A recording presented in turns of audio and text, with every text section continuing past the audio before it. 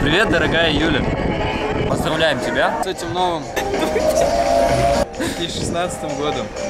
Мы все желаем тебе счастья. Дима тебя очень сильно любит. Дорогая и любимая Юля. Снова!